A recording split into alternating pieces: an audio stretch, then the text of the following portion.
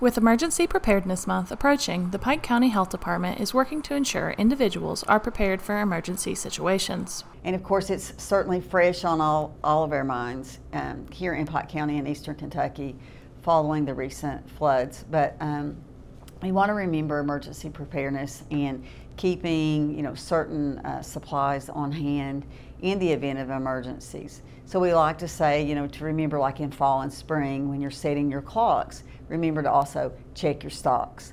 So it's just a nice reminder uh, for daylight savings time to be your trigger to remember to check uh, those emergency preparedness items that you need to have on hand. At Pikeville Medical Center, our vision of creating a heart and vascular institute that will rival any other in Kentucky is a reality. We've assembled a top team of more than 30 multidisciplinary providers. Together, those highly experienced providers perform many of the most advanced cardiac procedures available anywhere. We have armed them with cutting edge technology and resources needed to provide comprehensive heart care close to home.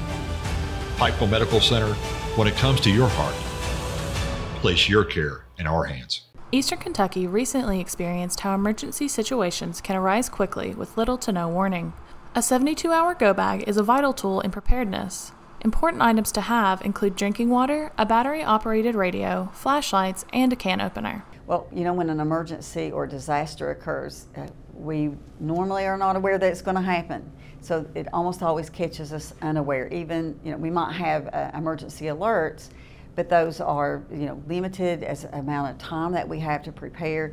Certainly, you don't normally have enough time to go grocery shopping, to get uh, non-perishable food items, to buy things like a, a hand can opener, uh, a radio that with batteries. So those are the types of things that you don't normally have enough time or, or enough notification uh, when disaster is going to strike. And like I said, you know, winter is upon us and we have ice storms and winter storms here in the mountains and it's difficult to get out and it can be scary even for a day or two to be without communication and food and water.